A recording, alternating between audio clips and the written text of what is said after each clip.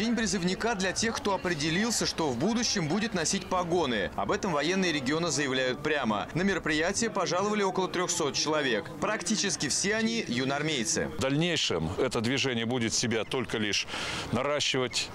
Э, Будут вступать туда наиболее такие, будем говорить, патриотически настроенные юноши и девушки. Но, соответственно, остальные будут тоже идти за ними.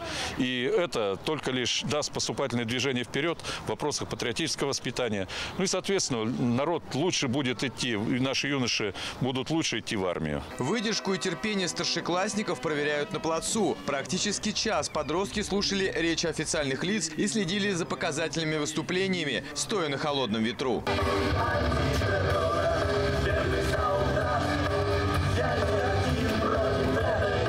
Для тех, кто не замерз, подарок. Выставка оружия и военной техники. Бойцы Росгвардии продемонстрировали школьникам современные образцы автоматов и винтовок. Есть два вида ночных прицелов.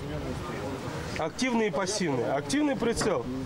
Необходим для активного прицела, прицела подсветка. Соответственно, если вы подойдете к машинам, на каждом пулемете есть сверху система Луна, лампочка такая. Посидеть внутри БТР – желание каждого юнормейца. Помимо внутреннего оснащения, ребята интересуются, за счет чего десятитонная машина держится на воде, что за оружие установлено на бронетранспортерах и какова его мощность. Автомобили находятся в постоянной боевой готовности, то есть на э, вооружение хранятся с- уже с э, закрепленным на ним вооружением. Вот можете увидеть, пулеметы на них находятся постоянно. Приведение в действие данной бронетехники минимально, то есть от 5 до 10 минут, и экипаж уже готов Здесь же представлены форма солдат и продукты питания, которые выдают призывникам в дорогу до учебной части. Это, конечно, не обед в школьной столовой, тем не менее, сытно и питательно, резюмируют военные.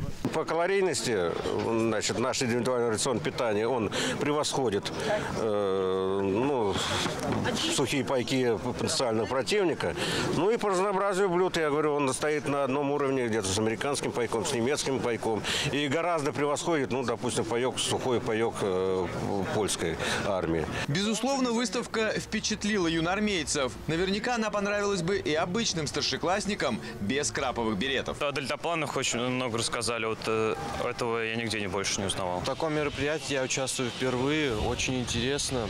Много военной техники, много впечатлений новых. Весной этого года в армию из Владимирской области должны отправиться полторы тысячи человек. Военные уверены, что с поставленной задачей по набору они справятся. Во-первых, проведенная военно-патриотическая работа с молодежью должна сыграть свою роль. А во-вторых, начинать служить весеннее время желают куда больше ребят, чем осенью-зимой.